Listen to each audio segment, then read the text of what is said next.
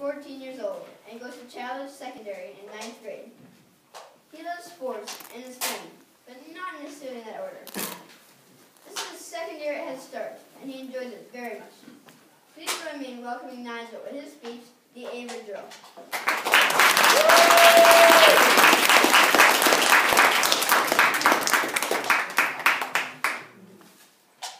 Hold on a second. More. All right, Emily.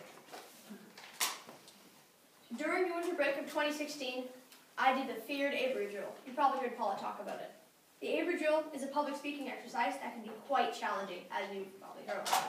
What you do is you take a speech you have written into a public place and read it. Sounds simple enough, right?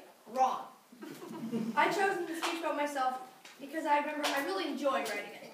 It was one of my favorites, even though it was just about me. That's it. The Trailway Mall seemed like a good choice because I thought there would be some people there, but not a lot, because there never usually is. You know, it's seashell, for goodness sake. How wrong I was. See, what I did not realize is that it had been the last week of winter break, before Christmas, and people could be Christmas shopping, you know, something people tend to do. When I arrived, I became way more nervous about doing the Avery drill.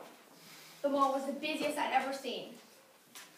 I chose to do my speech by the left-hand mall entrance. I was extremely nervous. The first time I read my speech in the mall, I barely even mumbled it. I was not proud of myself. Noticed something very interesting. People were so focused on what they were doing, their Christmas shopping, most of them just walked right by me without turning their head at all. I saw this as a good thing. In my nervous state, I thought, hey, the less people see me, the better. I did my speech again, a little louder. Then again. Then again. I was feeling way less nervous at this point, and I knew I would be. I did it again. Then again. Then again. I did my speech six times that day, and I'm really sick of saying the same speech over and over again. You couldn't pay me to say it again. After I was done, I got many com- compliments, such as, I really enjoyed that speech, and that was very brave of you. I, I thank them.